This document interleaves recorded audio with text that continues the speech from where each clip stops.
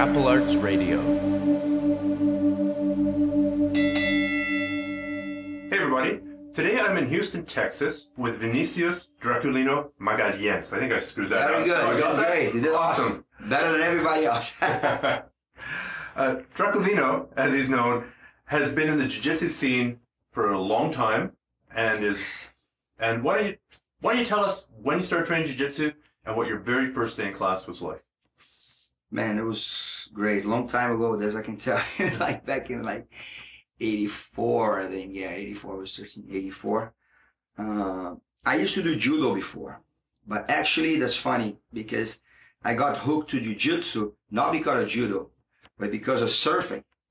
Because I used to surf on a spot in Rio called Quebra-Mar that uh, a lot of people were surfing there, and including the Gracie family. And I was really close neighbors from Ralph Gracie, Renzo, High and Gracie, you know, the family. And I got to know them through surfing. We got to hang out together. It was like a big crew. They used to hang out there in Quebra-Mar.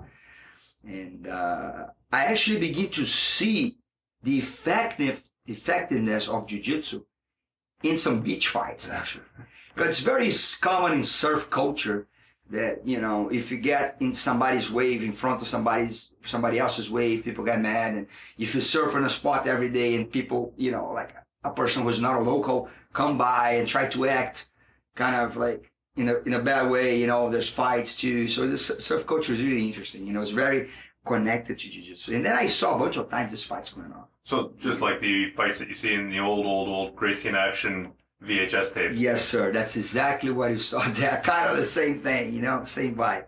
And then I was seeing like the guys, you know, like really smaller than the other guys and doing really good. You know, doing really, really, really good and pretty much like uh, dominating people. Doesn't matter the size or their toughness or anything. So I was really impressed by that. It's like, you know what, man, I'm gonna try that out. And I begin to train, you know, to get my first notions with a guy that, you know, a surfer too, used to surf there, really good friends of the Gracie family of ours. His name is uh, Tochala Jordan Pitoko. Very nice guy. And he began to get my first notions of jiu-jitsu. And then I when I begin to get more serious and passionate about it, I went to the Gracie, uh, to the Gracie Barra school. It wasn't Gracie Barra back then. The name was Gracie Jiu-Jitsu Club. It was funny. And uh, the main teachers when I first started were the Machado brothers. Uh, Rigan Machado uh, and Carlos Machado were the main ones. But this was before they were all black belts. Uh, no, they were actually black belts already. Rigan and Carlos were black belts. But uh, uh, John Machado was blue when I first started. Jean Jacques Machado was purple. Hansel was blue, if I'm not mistaken, or purple. I'm not sure now. Ralph was blue. Uh, and uh, Roger Machado, I don't recall because he wasn't around too much when I was there back then. But uh, and also, of course, Master Carlos Gracie Jr. Crolin Gracie and Rilion Gracie, I think by then they were the owners of the school, but they really, uh, they really were not around teaching too much, you know, uh, anymore. So they're kind of more the owners of the school. So the ones, the guys like really teaching were the Machado brothers. So. Was there a curriculum? Did you start with the self-defense? Oh yeah, definitely. Like uh, back then, it was really into self-defense. Really, really into self-defense. You know what I mean? Like it was. Uh, uh, uh, uh, Jiu-jitsu was applied for real situations. So you always used to do in the beginning of the classes self-defense moves. You know, that's the way it should be. Jiu-jitsu is not just competition techniques. It's, of course, the core of jiu-jitsu is like for you to protect yourself. And it was like a really, really big self-defense program. I remember it used to be fixed on the wall, some moves. It was really cool. And uh, of course, we trained, you know, a lot of jiu-jitsu itself. But uh, most of the times, the beginning of the classes were self-defense moves. So there was a curriculum, yes, sir. You know? Was there much of an emphasis on Vale Tudo in A those lot. days? Really? A lot, a lot. Way more than after when, you know, the competitions would begin to be like kind of the hype of the thing. So people begin to train more for competitions. But before, there was a lot of vale tudo training. And, and uh, we used to do that a lot. I remember on Fridays, uh, used to train no gi a lot, just with the pants, no shirt. And used to do like a lot of like one person without the gloves and one person with the gloves. That's what we call blocking. And one person tried to come and punch you and, and, and, strike, and you had to try to take the person down, control the person, submit the person on the ground. So we did a bunch of that trainings. And it was funny, there's a lot of people that didn't believe in jiu-jitsu, or people just kind of like from other martial arts backgrounds, they would just show up uh, uh, uh, on that days. You know what I mean? So, and, and always like the Gracies and Machado always like to use like the smaller people to to kind of like prove, you know, that the effectiveness of jiu-jitsu because people. There were a lot of people that came was like, man, I still don't get it, man. A bunch of people rolling on the ground. Uh, you know what, what what's the the real you know value of that in a street fight? And we had to show them, you know, and. I, and They- thank they God, I, feel it. thank God I did that a bunch of I did that a bunch of times. So I was like lucky enough to, to be successful and be like uh, and, and show people about the effectiveness because it was really small. It was always really small. So I mean, so that's good. So then, you, how long were you at the Gracie Barra School in Rio? Man, I was there. Like I said, I began to train there at the school. I think it was 85, 84 was with Pitoko first. And then I, I, st- I stayed there since then. You know, I got my black belt in 95 officially. And after that, uh, you know, I trained pretty much every day with Gracie Barra. You know, I saw all the changes. So when the Machado brothers left to the U.S. and Maestro Carlinhos took over again. You know, uh, I saw all that things. You know, and I was there all the time. After I got my black belt, I moved to Belo Horizonte where I, I had uh, Gracie Barra Belo Horizonte was the first school, Gracie Barra school outside of Rio. It was the first official Really? school. Yeah, it was really cool. And uh, I was like a pioneer on that too, you know, first one to, to move to another city. But I was always coming back and forth because my family was in Rio. So, you know, since then, I would, you know, And when the competition scene took off, you dove headlong into that. I know you, Yeah. you competed many times in World Championships, done really well. You've also gone to Abu Dhabi, is that correct? Yeah, I went to Abu Dhabi once. Uh, '99, I was invited to go to Abu Dhabi, and I did a bunch of competitions before on the on the late '80s, uh, middle and late '80s, and in the '90s. I did you know competition all the time. It wasn't as many as now because now Yeah. pretty much every weekend we have a competition. But uh, you had like maybe four or five main competitions in a year. We used to do that, so you know it was, it was pretty cool. You know, so that's why you know I was a competitor because I, I saw the whole thing growing, growing, growing, and I took part of that. It was pretty good. You've also done MMA. So if you had to choose only one for the rest of your life, MMA, Jiu-Jitsu, or submission grappling, what would you choose? Dangerous question. I love all of them. To be totally honest with you, I really love all of them. I mean, I uh, I did all of them. MMA, I didn't I didn't do many because back then, when I was like younger, you know, there wasn't like weight classes and you know there wasn't like a lot of like light ways to go. Events were like pretty like hardcore. There wasn't money involved on that. It wasn't fame. So I mean, when I was like younger, I didn't have a lot of chances to do that. You know, I, I just got chances when events got more professional stuff when I got a little older. But uh, I love MMA though, man. It gives me like uh, it gives me a, a, a, a kind of like a sensation. It gives me like a, a sense of awareness, on, on a sense of training hard and get ready that no other thing gives me. But if you ask me what you like more, I really don't know. I can't tell you. Because I did jiu-jitsu so many times. So maybe I did jiu-jitsu so many times, jiu-jitsu competition, that it's kind of like, you know, I didn't The have, office. yeah, it, it was like something new. Like maybe it was something more, you know, new. But uh, one thing that a lot of people don't know that I got more nervous, I got more nervous to jiu-jitsu competition than to MMA. Really? Yes. I Why do you think that was? I tried to think about an explanation and I tried to, to dig inside my my myself to look for that. Because I think jiu-jitsu is kind of like that. You show up, not now, but you used, you, you used to show up and you don't know who you're going to face. You don't know how many fights you're going to have. You don't know anything. You just have to go there and get ready for whatever. You know what I mean?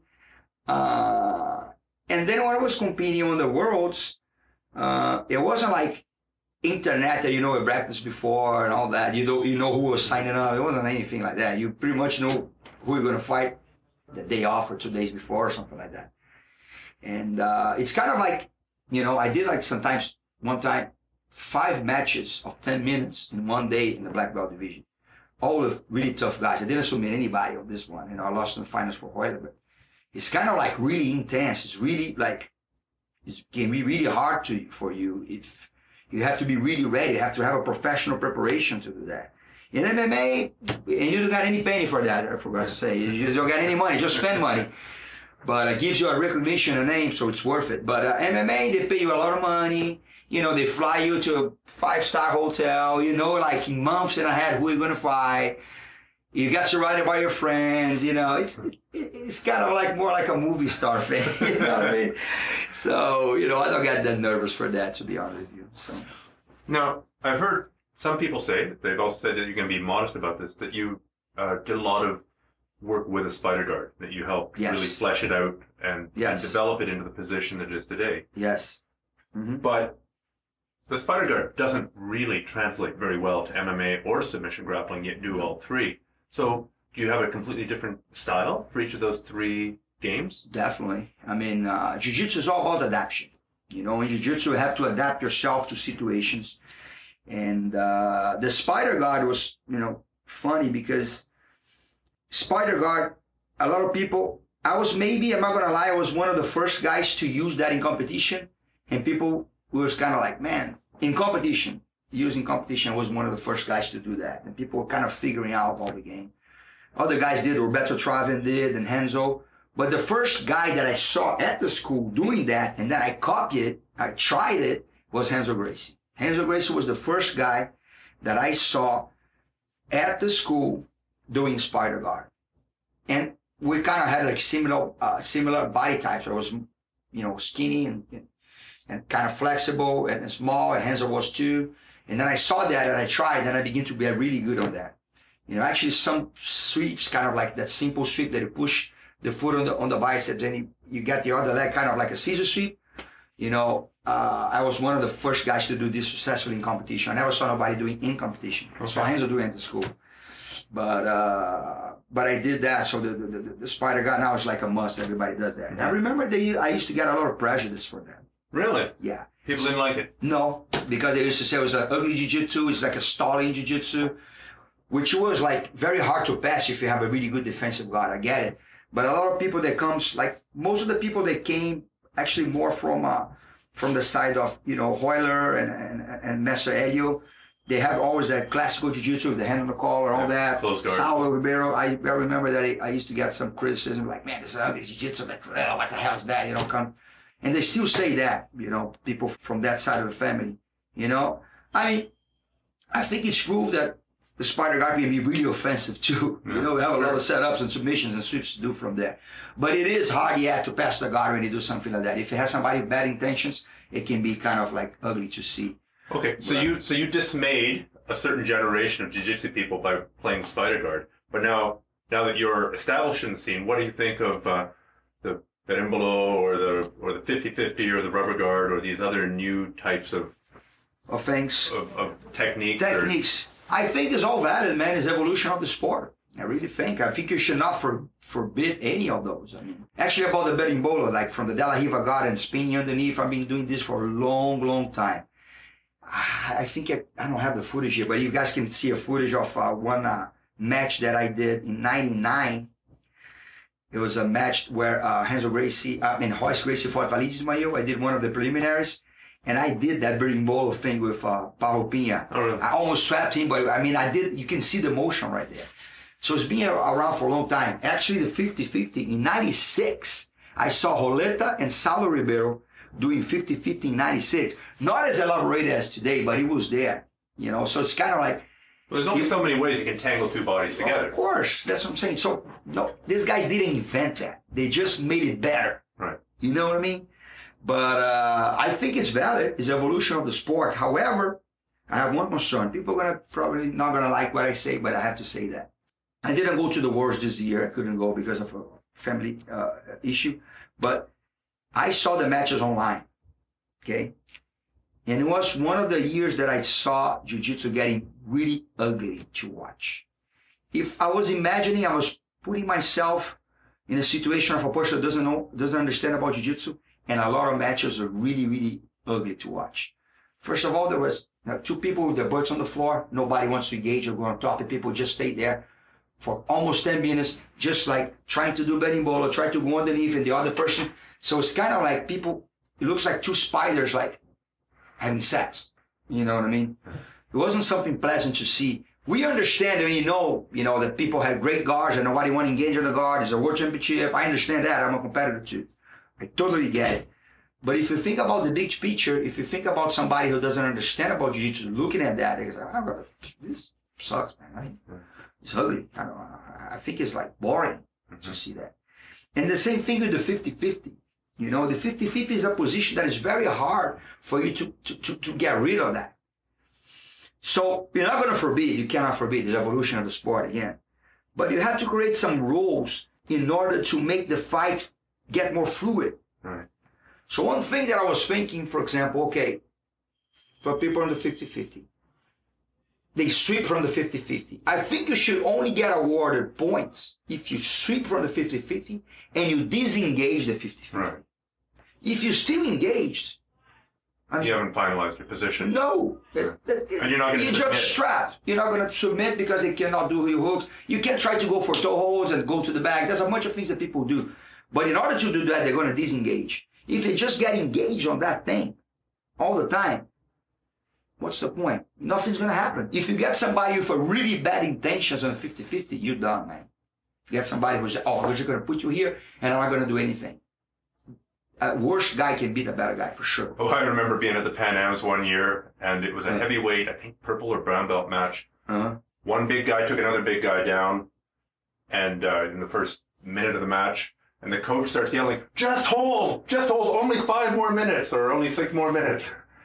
So it, you had that stalling before the 50-50, but I guess the 50-50 makes it a lot easier. I think the 50-50 is one of the better positions to stall that I ever know. It's very, very good to stall if you need to. And you said about the coaches. I mean, how can I judge a guy like that? I can't. I'm not going to judge a guy like that, to be honest with you. I won't. Because it's a world championship. It's a title. I mean, I, mean, I don't know what, what, what I would say if there was a title uh, uh, uh, involved on that. You know, if I would do different. I would maybe say, hey, hold it. Yeah. Get your results. I'm not going to lie to you. But if the rules are created in a sense Sure. to make jiu-jitsu more appraisable, yes, I'm all for that. Have you or any of your students fought in those submission-only tournaments? I never did that. No. Unfortunately. I would like to. MMA is kind of like that, if you ask me. MMA, you want to finish the guy fast because, you know, you can be knocked out at any time. Yeah. But uh, no, I didn't. I would like to do that, you know. I mean, I'm not a competitor 100% anytime. I mean, anymore got a because I'm, school you know, and I got a family school, yeah, I mean, I'm 41 years old. Uh, but I would like to do that. It would be awesome. And I think they're going to put up a tournament like that now. Uh, Gracie Nationals, I think. My friend Jose Gracie is going to do something like that. I heard in August or something. So I'm excited. Okay. Let's well, let's talk about one other aspect of the sport, and that's the whole self-defense thing. I mean, I just watched you start a class, Mhm. and as part of your warm-up, you had people doing basic striking combinations, and right now they're working a basic headlock defense. For sure. And so, obviously, you believe strongly the self-defense is still an important component of it. Of course. I think it's like, let me ask you this. Why in the first place, people look for jiu-jitsu? What's the, the, the, the, the, the, the, first place? Most To not people, to not get their butts kicked. right? And what is that? Self-defense. Yeah. So people look for jiu-jitsu for self-defense, to get more confidence through the learning of the jiu-jitsu techniques to defend themselves in a situation they need to. That's the core of jiu-jitsu. So in our fundamentals program, the Gracie Barra fundamentals program, it was always like that. Now it's just official because there's internet, everybody can see and all that. But it will always have that. I always taught my students since the day one that I taught class, I always taught the self-defense basic curriculum.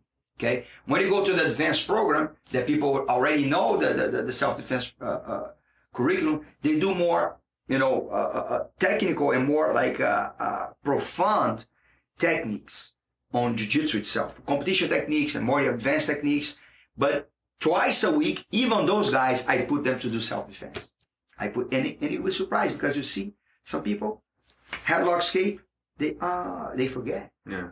Say, how are we going to forget something like that, man? It has to be second They have a fantastic butterfly guard sweep to X guard, but they can't get out of a headlock.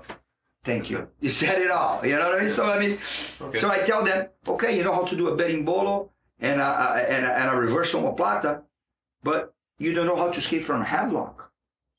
It doesn't make sense. okay. The way you build jiu-jitsu like that. You learn how to defend yourself in the basic way, and then you progress. So, what would you say um, that you'd have? How would you have to modify your jiu-jitsu to be self-defense effective? What are some of the things you need to keep in mind Mhm. if you are if you do get tackled on the street or you do get you know you slip and fall. For sure, yeah, definitely. Uh, I believe in one thing that a lot of people say, but I need to adapt a little bit there. A lot of people say, I don't do anything in jiu-jitsu that I cannot do on a real fight. A lot of people say that. I agree in a certain point because there's a lot of things that you have to adapt. But most of the things that you do every day here, you can do in a street fight. Most of the things. Of course, your awareness changes with strikes, with headbutts, with, you know, biting, with multiple opponents. There's a bunch of factors in there, but the core is there. If you get the, the, the core of jiu-jitsu, the core of jiu-jitsu is a fight without striking. Right. But you can apply everything. Everything is applicable if you know, if you are smart enough or you have enough knowledge to adapt that. But it can be adapted. Everything, everything in jiu-jitsu can be adaptable. And I, I, and I think the jiu-jitsu that I learned is like that, and the way I train is like that. So, but man, when I see a world championships again, I see something like that. I see so much getting so much away from reality that scares me a little bit. So I think the rules have to change a little bit. We're not going to block the evolution of the sport, but they have to change the rules in a certain point to make sure that we don't lose the essence of jiu-jitsu being effective in self-defense. If it gets completely away, I'm scared of what's going to happen. For example, happened to Taekwondo and even to Judo. They're great sports, great techniques that we use and they're really effective. But the way they train for competition, so much away from reality. And I think it's hard to stop that, but It's playing to the rules. it's, it's, it's, it's very tricky. We got to be really careful about that, Mhm. you know, so. On the self-defense theme, have you ever seen the YouTube videos, the "Get in My Guard" videos? This guy walking down the street, he bumps somebody, picks a fight, and they're about to start fighting, and he jumps to his, falls down on the ground. He's like, "Get in my guard! Get in my guard! Come on, get in my guard!" No, you've never seen I didn't see that, but it's probably really funny. You know, it's kind of like a like a comic thing to to jiu-jitsu fighters that uh they they think that they can apply any technique in any situation. I mean, you're not gonna do this in a street fight. Come on, you know. If you put your, if you end up with your back on the mat, you have to know how to defend yourself. But if not, I mean, so I think it's kind of like it's kind of more like a like a comedy thing against some jiu-jitsu guys that have the wrong idea, you know. So I mean, that's what I really think it is. And it's funny actually because you're not gonna, you know, just tell somebody to go on your guard.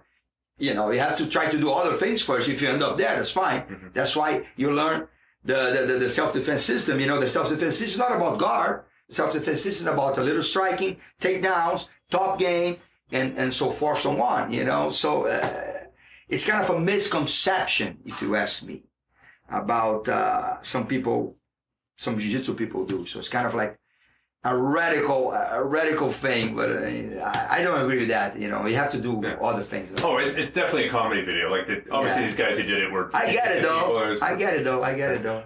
So then the flip side of the whole pulling guard in a street fight or in MMA, although some people have pulled guard successfully in MMA, Yeah.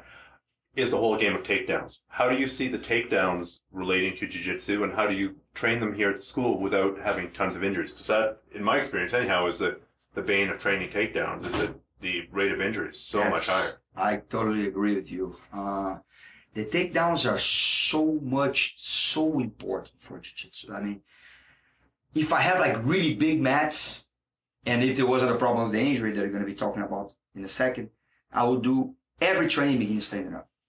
Every training, because standing up and takedowns are very, very important. If you see MMA, for example, people with great jiu-jitsu, they're not being successful because they don't have takedowns. They don't know how to take a person down. So it's very easy for the striker to disengage. So that's a problem. Uh, but I think it's essential part of jiu-jitsu, you know, and jiu-jitsu has really good techniques for takedowns. We do. It's just people just don't practice. That's the problem. Uh, but, uh, talking about the problem of injuries, I totally agree with you. You know, like takedowns and stand-up training, you can get hurt quite more, quite easily than training on the ground. So a lot of people, uh, uh, use that fact to completely nullify the stand-up training. And I don't think it's smart because I think it has a ways that you can train stand-up training and takedown training without needed the need to be 100% all the time. For example, you do a lot of grip fighting. Grip fighting is a really good drill and helps whenever you're going to go to the real deal, you know? Like you know, grip fighting, you know, just positioning on the grips. You're not going to be doing takedowns. You're just going to be training your posture, your base, and your angles and all that. It's a good way to train. Sometimes you train like with one person attacking, one person defending. So they, they don't go at it. So one person's kind of oh, well, just defending the takedowns and the other person try to go. Sometimes you do just, just hip throws and hip tosses. You cannot attack the legs. And then people go like that. And sometimes just grabbing on the legs. And then eventually, of course, you have to do the real deal. But uh, there's ways that people can train and they're going to get their body ready and they're going to get awareness to get ready for whenever they need to do and they do. You know what I mean? Mm-hmm. So it doesn't need to be like every day, like, like a tournament, you know, especially if you're not used to do that. If your students, they don't know what they're doing, they're going to get hurt for sure. But if you uh, educate your students to do that kind of training, they're going to get more ready and then the injuries are not going to be that much. But let me tell you, man, injuries are part of the sport. Injuries are part of every sport. So, I mean, you try your best and, and if you don't do any sport, you stay on the couch and you die of a heart attack. So, so you know, I, I, I'll rather I'll rather do sports, man. okay, well, thanks so much. If people do want to train with you or find out more about you, what what are what's the best way to do that? You're here in, in Webster, which is just I'm south here, of Houston. Yes, sir. I'm here in Webster, the Clear Lake area, south of Houston. I'm next door to NASA, where you know they do the rocket things and, the, and all the space things. I'm here next door. It's actually on the same street, and uh, our website is www.graciebarratx.com. Uh, I also have a school in Brazil, Gracie Barra BH, Gracie Barra Belo Horizonte, and it's a huge school with a lot of tons of black belts. Great school to go to and uh, you know you guys are more than welcome to come at any time. You're gonna have a a, a good host here, that's for sure. okay. Well, thank you so much. Thank you very much. And just one more thing before I forget, our training website too, very good training website. If you have, if you want to have a supplementary tool for your jiu-jitsu, www.draculinobjjtraining.com or www.draculino.com. Podcast listeners, there's a pretty good chance that you're listening to this on your smartphone, right? You're walking around, you got your smartphone in your pocket, you got your earbuds in, you're listening. If you've got a smartphone and you do jujitsu, then you should check out my free Roadmap for BJJ app. This is a video based app. It's an app that goes on your phone. You can check out the different sections. It's got different techniques, it's got different positions, and it breaks down the big picture of Brazilian Jiu Jitsu for you so that you're not going to be so lost on the ground when you're training. So you're going to know kind of sort of what you should be doing in every position, along with the specific techniques that you should be using. So if you go to grapplearts.com forward slash roadmap, there'll be links there to get this app for free, both in the iTunes store, if you've got an iPhone, or in the Android store. If you've got an Android phone, there's also Kindle versions of it out there as well. Once again, you can grab that at grapplearts.com forward slash roadmap. That'll point you in all the right directions to get this app, whatever kind of phone you have.